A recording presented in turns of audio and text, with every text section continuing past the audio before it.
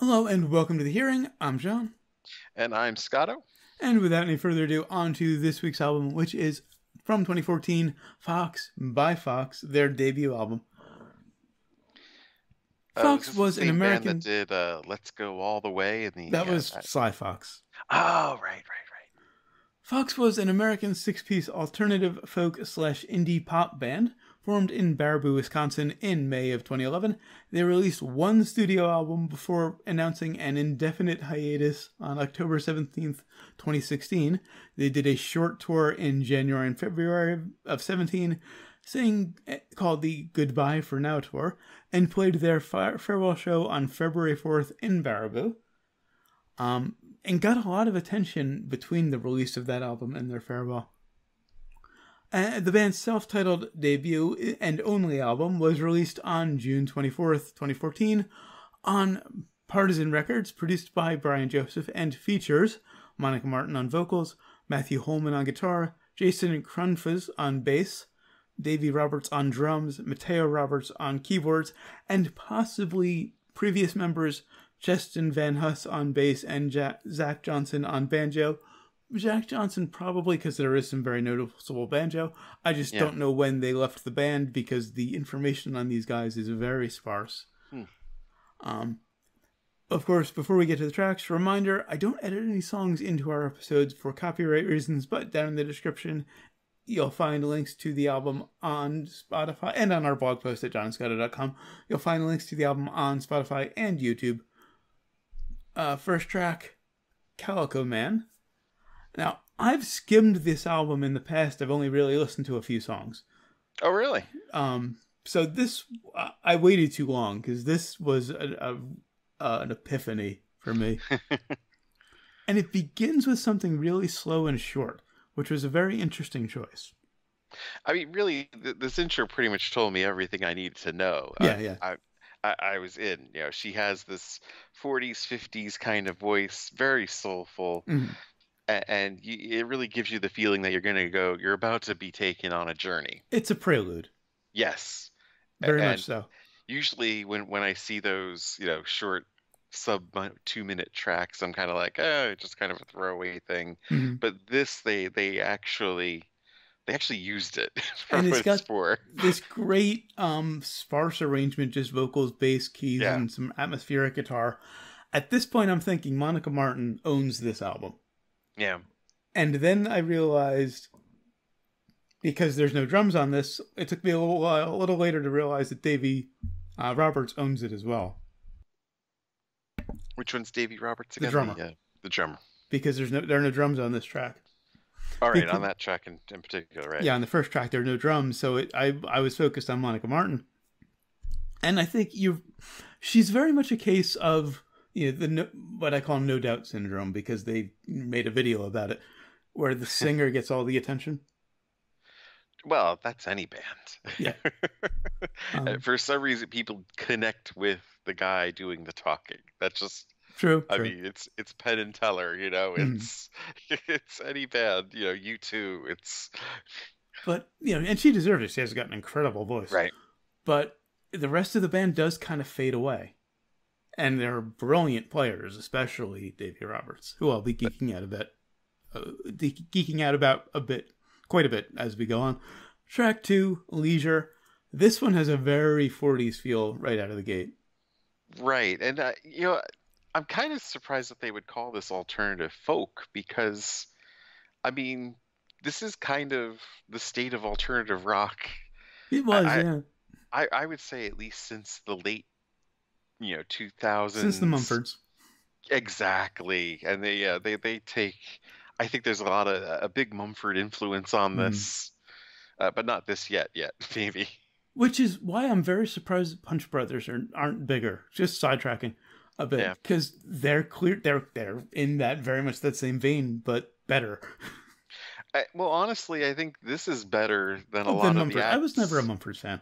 Right, a lot of the acts that got attention. I mean, I think like Sylvan Esso is a very similar band to this too. Only I think they're more synth heavier. Yeah, yeah, yeah. Um, but but I think, you know, but uh, alternative rock has been in this weird.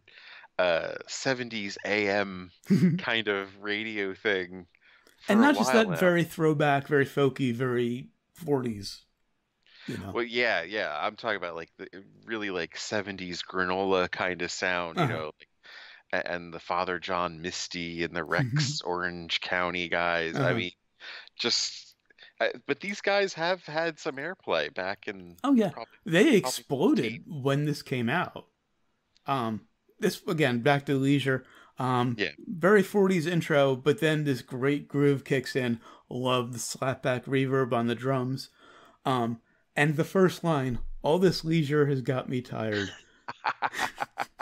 we couldn't have picked a better time to review this one. I yeah, I laughed out loud when I didn't catch what she was saying until like the very last time she said it the song. I was like, "You've got to be fucking kidding me!" Not intentional. This is not one of the songs I was familiar with, but yeah, that that got me when I heard it. All of this leisure has got me tired. Fuck you. but I love the sort of reverb heavy guitar, which is something I'm not really into, but it works so well with these guys. I would say most of the time the electric guitar makes an appearance on this album. I am an absolute fan, and it makes me really happy anytime it comes in. Hmm. Um, love the little weird like synthy sound effect before verse two comes in, and how the guitar just becomes more prominent as the song builds. It says it's got this great build up to the second chorus, and then it softens for the bridge. Like the dude is definitely a disciple of Steve Hackett. Yeah. you know, there's so many like so, like the classical sounds, Mhm. the the strange sounds he does with it. It's just like, uh, yeah, And then it just builds to this nice chaotic uh, uh, instrumental break with these affected drums. It just gets weird for a bit, and then just kind of abruptly ends. This was uh, this is a favorite of mine, not my my favorite. I'll get to that later. Um, on to track three, slow motion. This is the one one of the ones I knew. This was the big single. this was the big single. Yeah, Um, love all the percussion in the beginning. It's got this great groove. Nice use of banjo.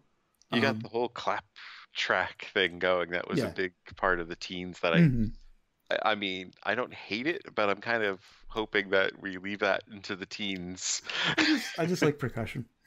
Yeah, Um, love the kick on the on the groove and the verse. Um, the whistling before the chorus was a nice contrast. Very very cliche for the time, but it, it was a nice contrast for the rest of the track. And there's a clarinet solo. right. I, I mean, I, think put it when you, take these things in isolation, whistling, the banjo, Mhm. the clap trap track, um, you know, on their own, eh. But together they kind of work. It's kind of interesting when you throw the three of them together. And they are very cliche for the time, but this band knows how to work them. Um, also, some great drum fills during the instrumental break. Now, I'd kind of been hoping this was going to be a cover of an obscure Flaming Lips song. Mhm. That's uh, Oh. actually one of my favorite Lips songs, but oh well. On to track four, 1936. This is very acoustic, very straightforward. This is where they get folky. yeah, Um, very dominant percussion, great harmonies. I think it's all Monica Martin on this one. I think she does all the vocals. yeah, Um, nice sparse instrumental break before the second verse, um, which builds nicely. And then the drums get even more dominant because it starts very mellow and acoustic, but then it just kind of builds nicely. yeah. I mean, really, I guess listening to this, I'm thinking the category eclectic would probably fit better, yeah. but or indie pop is, is pretty good too because I think that's Well, That indie pop it. is eclectic. You know, it's it's That's that true. much of a meaningless, you know, That is true. catch-all. yeah. Uh, on to track five, Evil. The beginning of this is almost disco. Like it's, I put it's like a combination between Jeff Buckley and Mumford and Sons. yeah, it's folk disco. yes. Um, quickly go, quickly goes folk. Loved the opening line. Face deep in between my best friend's knees, telling me that you don't want to hurt me, and I just can't believe that any word falling off your plain lips isn't unclean. You know, if you if you have any pretense that they they don't go there, they go there.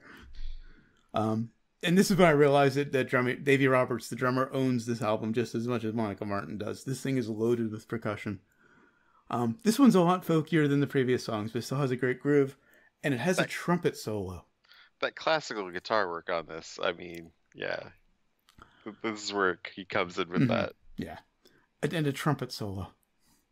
Didn't see a trumpet solo coming with these guys. Like the clarinet's kind of you know expected because they have a jazz influence, but the trumpet. Um, wish I knew who the additional players were, because I could not find that anywhere. I had to How dig to find the producer. Why do those guys never get credit? Well, they usually do, but for some reason it's not online anywhere. Um, There's a lot of albums more than that just Wikipedia. players just don't get credit. Yeah, true. Um, but it was usually older albums, you know, in the seventies and sixties. Nobody cared. Yeah. Now they care. Um, I was um, actually just listening to uh, the Doors Soft Parade Special Mhm. Edition where they have without the strings and horns. that was If- really weird. if you don't, if you didn't do a fair amount of digging, you'd think that they actually didn't have any bass on their records. but it was actually, um, I can't think of his first name. Jason Scheff's father, the guy who replaced Peter Cetera in Chicago. His father played bass on all of the Doors stuff. Oh wow. Um, yeah. But back to uh, Evil. Nice Yes. build in the middle of the song. There's this harmonized section that gets really country, which was a surprise. Um, Yeah, you gotta like the directions they would take you in. Yeah. And then there's this quick synchronized syncopated guitar line at the toward the end that almost gets proggy. Yeah. It, it it's amazing how many directions they can turn in. On to track six, Laura. This is my favorite. Nice, slow, kind of inviting electric piano. It just kind of pulls you in to want to hear more. Love all the reverb on the vocal. I love that Brian Joseph wasn't afraid to ju- just drench the entire album in reverb. I, I wasn't a fan of this on the first listen, but the second it started to win win me over. So I Mhm. don't know. I don't know if I actually have a strongest and weakest this week because Hmm. it's kind of. I, I mean, It was difficult for me to pick a weakest. Um, yeah, but this has just got i'll get to why it's my favorite in a moment. Um Yeah. this has just got this nice so quiet build from this you know sparse quiet opening. It's beautifully moody. Um great build it built it'll build up to get loud and then drop qu- really quiet again. And then as i'm geeking out about how you know davey roberts is amazing and how he, he's not showy he just plays perfectly i hear this repeated line that just hits me like a ton of bricks you can try and hide away from all the things that people say that you need to be okay, but you just stay the same. That line killed me. I, I was there for years. Um, so that made it my favorite. That and, and just the, the dynamic changes. The lead guitar on the way out was almost a solo. yes. We almost had a guitar solo. I know. Uh, that's kind of like the one thing I wish they had just let him Well, they do later. a bit more.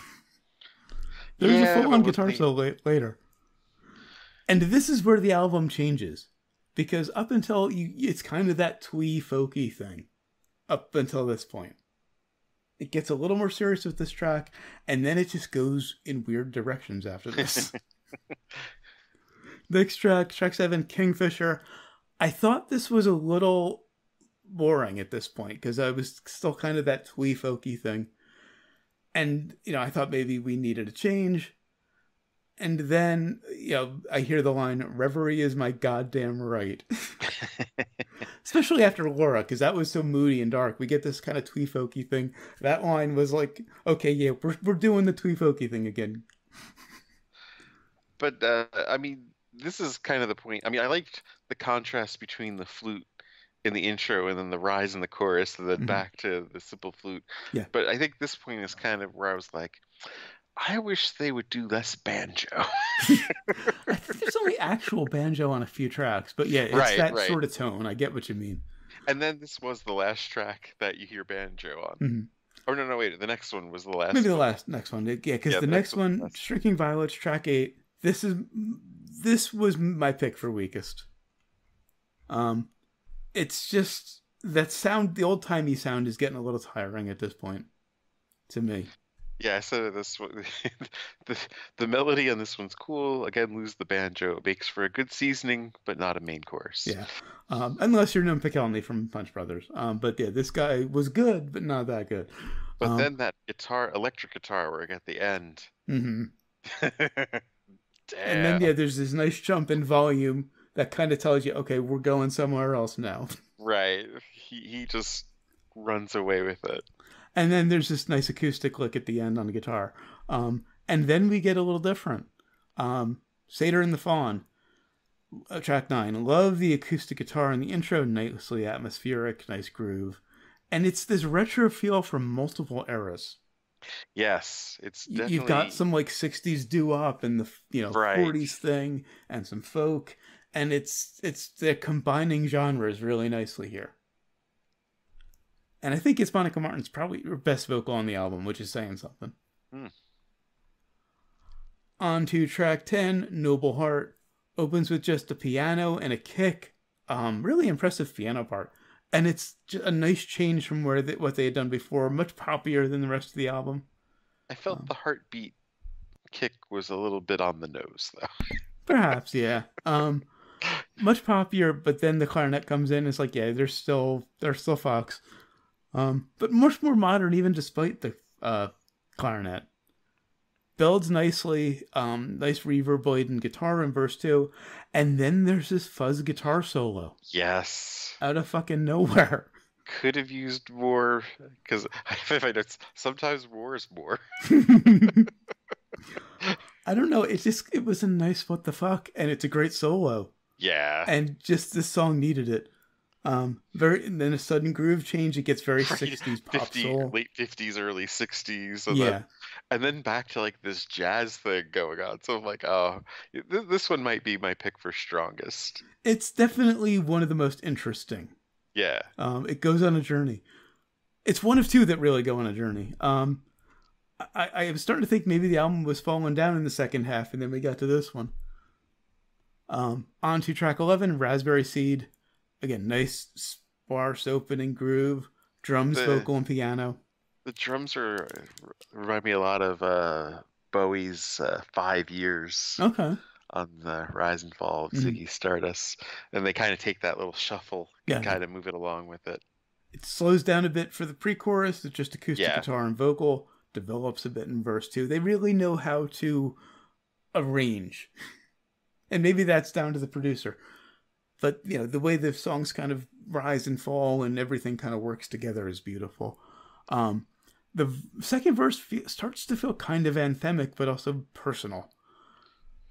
Um, and then there's this instrumental break that's just acoustic guitar on one side, and there's this, this sergio leone yeah, this this atmospheric pedal steel on the other side. I'm not sure if it really had a payoff or not, but I mean, the first time I listened to it, I was kind of like, ah, I don't know. And then I think the second time I was starting to get into it more Mhm. like, ooh, I can feel this, like, you know, It's atmosphere. Yeah. Um, the drums and bass fade in nicely during that break um, into this nice Yeah. insistent groove. That's what it is. For a band like this, I'm not expecting an atmospheric thing. I'm just expecting a straight Mhm. kind of pop thing and a song and and to get in and get out. But yeah, you're right. They they do lay on this crazy atmospheric, And you know, it's man the, with no insec- ent- thing. the entire second half of the song is just instrumental Yes. atmospheric Right, right. and just builds. And I was thinking maybe this should have closed out the album, but then we get track 12 in due time, nice acoustic ballad. You always have to come. You always have to have the little uh, denouement after the, uh, yeah. yeah. That was the ending. climax. Remember? Half of you know, the half a song being this like atmospheric acoustic, this not acoustic, this big atmospheric build, and then we get the denouement. Yeah, Like, like I don't know what episode we t- we covered that in. Maybe like the first or Mm. second. But it's just this really nice, pretty ballad. Um, beautiful harmonies. I don't think it's all Monica on this one. I think there are other vocalists, um, and it's a nice goodbye to the band. It's about a failed relationship. yeah, Uh, and she said the lyric says, "In due time, if I keep myself intact, I could wave to you through the window as I drive past." it's probably the closest they come to a folk sound Mhm. on, on the whole album. I think. Straight up folk, yeah. Yeah, So, do you recommend it? I would. I would. I've never been to that corner of Wisconsin, Mhm. um, and, and it's a shame that uh, we couldn't see where this went. Yeah, that they didn't do more. From what I was reading, they were just a bunch of friends who got together to play on a, a friend's album, and then they ended up doing a show together, and it just kind of built and built from there. They never really intended to be a band. What led you to uh, include this on our list? I just I've known about the album for years. I, I saw them on YouTube around 2014, 2015, and I've always just been kind of intrigued by them. I think uh, I think there's a lot of alternative or indie pop that you should give a chance because I think there's a lot that uh you know comes from uh, yeah, yeah that's similar. Um, yeah. I kind of got put off by this sound for a long time because of Mumford. Well, yeah. Because it's they were the frat boys of the they were the smash they were the smash mouth of this sound. Yes, yes, uh, they were. So but there I were kind better got bands. hmm? There were better bands that did it though. Yeah. And I kind of got put off for so for a long time. Recently, I might I've kind of been expanding, you know, with because for a long time I was very into guitar, bass, and drums, you know, the rock sound. Yeah. Um, in recent years, I've kind of expanded from that. I got I've gotten into Punch Brothers and St. Vincent, and just you know different sounds that aren't rock. And I mean, Yeah. with our A- AWK. So you know, I, I should check out some more of that folky uh, alternative stuff. The Decemberists are one that I've kind of been leaning toward a little bit. I've heard a few songs that I like. oh yeah. Um, the, the National too is mm. another one. Anyway, I obviously recommend it. I put it on the list. Um, it's Well, I didn't know. I, when we came in, and you were kind of like, "Oh, hadn't heard this one all the way through." I was like, "Oh, wait a minute." well, yeah, because I, I had heard only bits it." and pieces of it up until, but I knew I'd love it. If you just like, ah, this, you know, this kind of sucks. Sorry, I recommend put this on the list. I, I'm kind of debating whether or not I could have gone straight from Bill Withers to this or not. And I'm the asshole that that's recommending it. it's not I- mine. I'm not sure if this would have held up to Bill Withers or not. It comes close. Like Oh, if we I- could have gone straight from Bill Withers without doing it a disservice. Ah, they're they're They're not quite they're there. different. Yeah, they're The- different. Uh, the, the palate cleanser was the right idea, yeah. Yeah. Um that's Although it. I think uh, from referencing last week's episode, uh, how did they not do? Because I, I thought of Florence again, Florence and the Machine in this. Mhm. How did they not do Florence or Rage Against Florence and the Machine? Yeah, yeah. Wow. Especially think- since that one song of Florence's got so overplayed. Yeah. It's the only song I think I've heard, actually. Anyway, that's it for PHOX. Until next time, we'll be reviewing Blue Valentine by Tom Waits. Now, that's a transition that works. Whoa. Yeah. Until then, always remember and never forget wherever you go in life, there you are. There you are.